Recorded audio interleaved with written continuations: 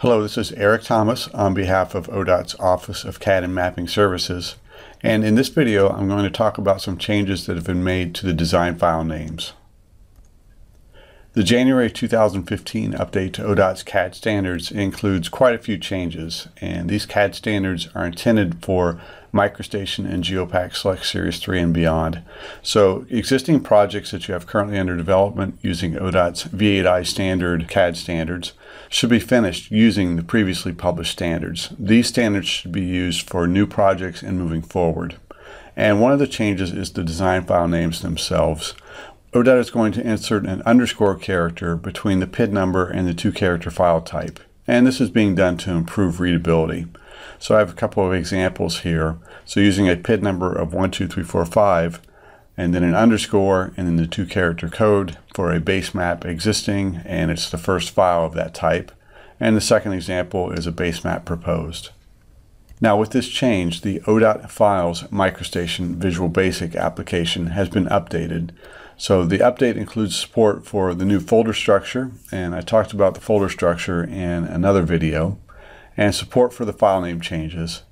And in addition to that, we've added the ability to create multiple files or multiple sheet models within a file. So when you're creating a specific file type, there's now a key in field where you can say, hey, I need two or three files of this type, or I need two or three models within this file.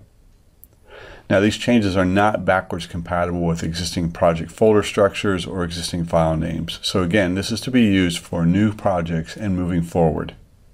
So let's go ahead and get in MicroStation and take a look at the changes to the program. Okay, I have a MicroStation file open and I'm going to go ahead and access the ODOT Files application. So from the ODOT pull-down menu, under File Management, I'll choose Create Design Files. Now the application does open with a splash screen and this is just to let you know that the file names and the folder structure here are not compatible with the previous ODOT V8i standards. So it's just some information for you, just a reminder that this is to be used on new projects moving forward. So I'll go ahead and OK that and then the main dialog for the program opens. Now the dialog has some minor restructuring at the top. Uh, the first item is the parent folder and I can see it's defaulting to the correct folder for my project. So I open the MicroStation using a MicroStation project configuration file and one of the variables that's defined in there is the UStation project data variable and that defines the root folder for this project.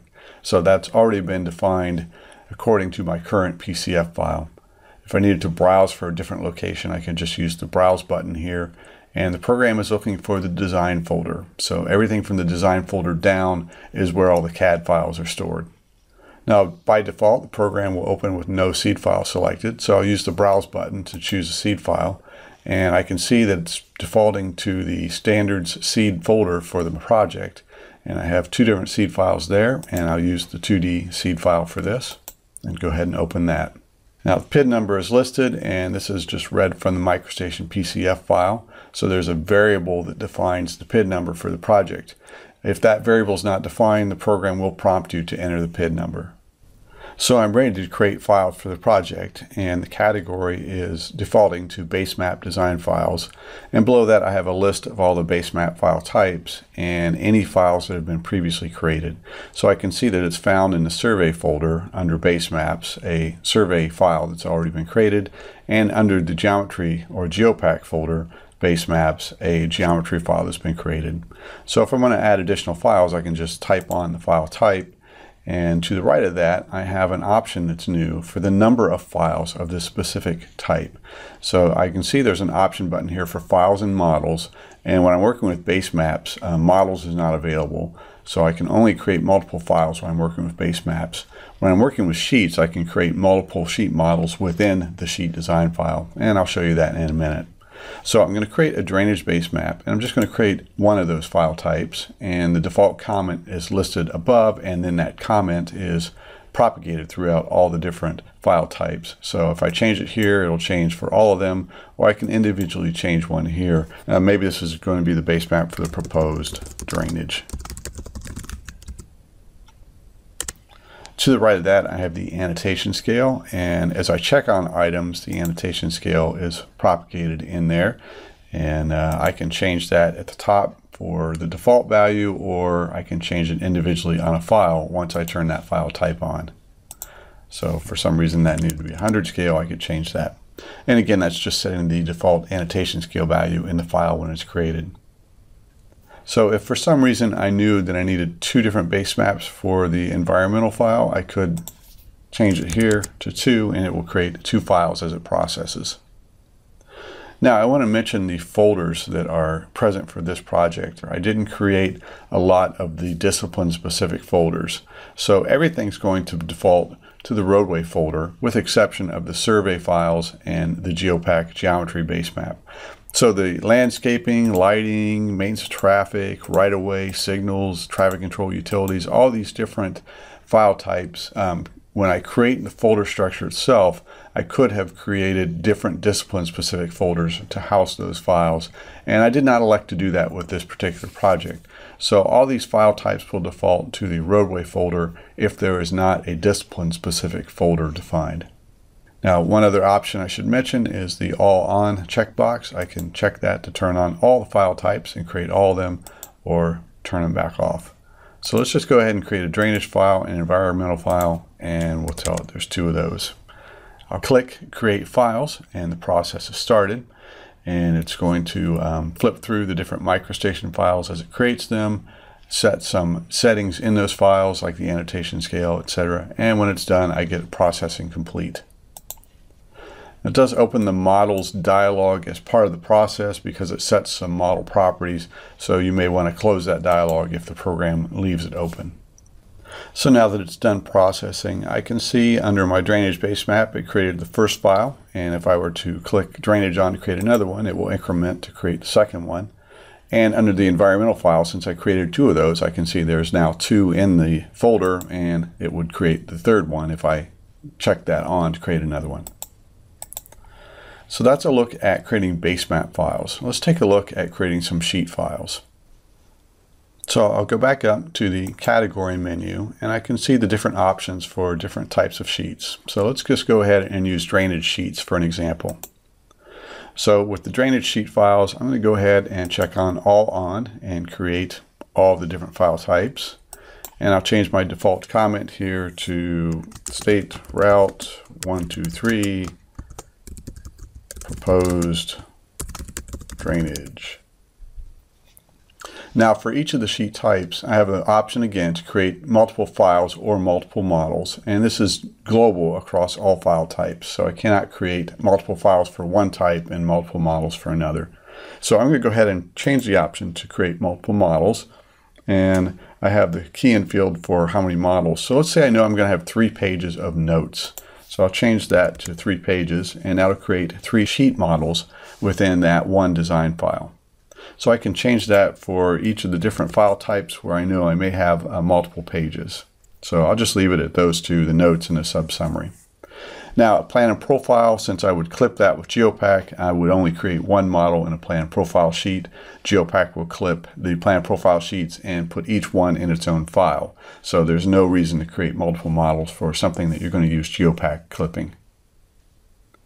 Okay, uh, one of the other things that's been expanded is the available cells. So if I look at the drop-down list of cells, some of these are pretty limited. They only have one cell that applies but some of them have multiple cell options. So let's find one that has more options.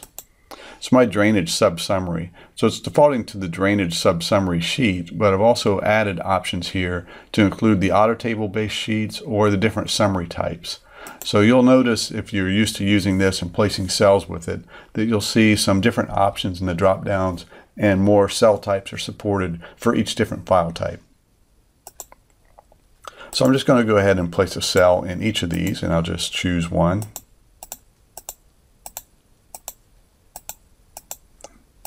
And in my cross-section sheet, I'll change the annotation scale to 5. And maybe I know my schematic is going to be at a 500 scale. So with those options checked on, I'm going to go ahead and run the Create Files application Oops, I need my seed file. I had closed the dialog and reopened. So let's get the seed file. And now go ahead and create the files.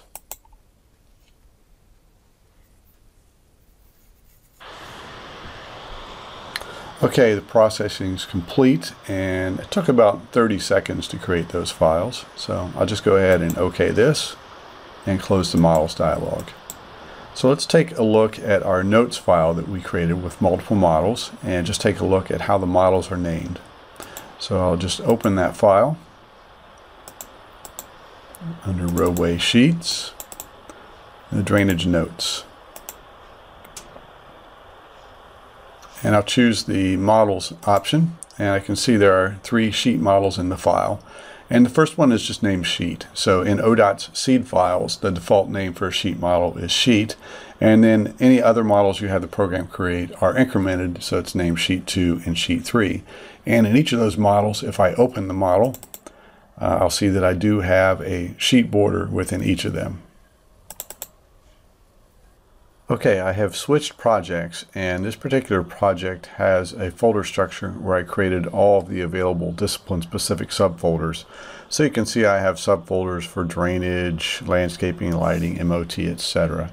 So when I choose an individual sheet type, it will default to the subfolder for that particular type. And I wanted to demonstrate this because you'll notice in this mode, when I've got a structures folder, the option to create bridge and wall files is not in the pull down list for the categories. So when I'm using a separate structures folder for individual structures and bridges, what you need to do is browse to select that particular folder in order to create files. So I'll choose the parent folder option and under the design folder for the project, I can scroll down and I see that I do have a structures folder and I have a folder there for a bridge and a folder there for a wall. So I'll pick the master folder for the bridge and OK that. And now the category just has two options, one for bridge base maps and one for bridge sheets.